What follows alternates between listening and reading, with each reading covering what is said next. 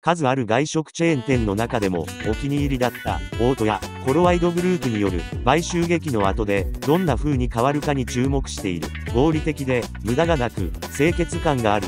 それでいて、やるべきことはやるという路線が鮮明になった。大戸屋のヘルシーで選択肢の多いメニューをしっかり残してくれたところは嬉しい。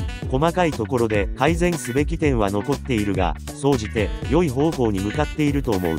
ただ、ファミリー利用のようにお客さんのグループ自体が賑やかで食事を楽しめるファクターを有している場合は、お店サイドは完全に裏方になれば良いので、好む気質感は良い点の方が多いと思うけれど、私のようにお一人様マ利用の者にとっては、以前の大戸屋を懐かしむ気持ちが強いだろうと感じる。例えば、フロアスタッフの一言とともに、最初のお茶を注ぐというところだけでも接客としてやると、だいぶ印象が違うと思う。オーダータブレットが、ありがとうございましたで終わっていて、前のお客さんの残骸感が残っているテーブルの席に座り、パネルに触れてくださいというところからスタートするのは、いただけない。気になる点は、まあ、まあ、細かい点ではあるが、コーヒーを飲まない人にとって、ドリンクバーがかなり貧弱に感じる。タブレットの動作が、ややもっさりしている。サイドメニューのの惣菜類のボリュームがやや少ない。きんぴらごぼうの人参比率が高すぎる。お味噌汁のネギがウルトラ中途半端。破片が間違って入った感じ。これなら以前のようにネギがない方がマシ。クレーム多いと感じるかもしれないけれど、指摘すべき点がこの程度しかないというのは、実はかなりのものだと言ってよい。店舗数の多いチェーン店は、こういった点を地道に改善していくと、さらに良いお店になると思うのだ。Atoya was my favorite among the many restaurant chains. We are paying attention to how it will change after the takeover drama by Kalawide Group. The line of being rational, lean, clean, and doing what needs to be done has become clear. I'm glad that Atoya's healthy and versatile menu was preserved. There are still some areas where we need to improve, but overall, I think we are heading in the right direction.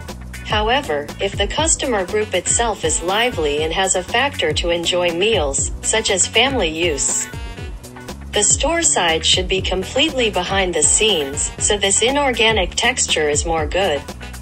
I think so, but I feel that for those who use it alone, like me, there is a strong feeling of nostalgia for the old Otoya.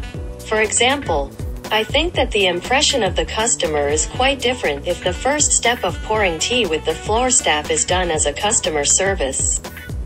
If the order tablet ends with thank you, and you sit at a table that looks like the wreckage of the previous customer and touch the panel, you can't start from there. The only thing that bothers me is, well, it's a small detail, but for non coffee drinkers, the drink bar feels pretty poor. The operation of the tablet is a little sluggish. The volume of prepared dishes on the side menu is slightly small. The ratio of carrots in Kinpira burdock is too high. The leek in the miso soup was half baked in ultra. And it felt like a piece had been put in by mistake. You may feel that there are many complaints.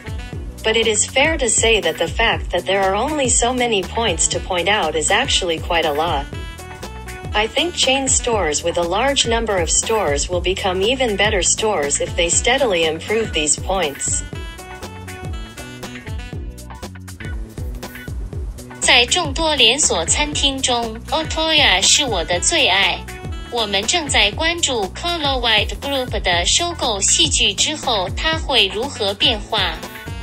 理性、精益、廉洁，该做的事情的界限已经清晰。我很高兴 Otoya 的健康多功能菜单得以保留。我们仍有一些地方需要改进，但总的来说，我认为我们正朝着正确的方向前进。不过，如果顾客群本身比较活泼，有享受用餐的因素，比如家庭使用，店面应该是完全在幕后的，所以这种无机质地比较好。我是这么认为的，但我觉得对于那些像我一样单独使用它的人，对老大户屋有一种强烈的怀旧之情。例如，我认为如果将与楼层员工倒茶的第一步作为客户服务来完成，客户的印象会大不相同。如果点餐平板电脑以谢谢结尾，而你坐在一张看起来像前一位顾客残骸的桌子旁并触摸面板，你就无法从那里开始。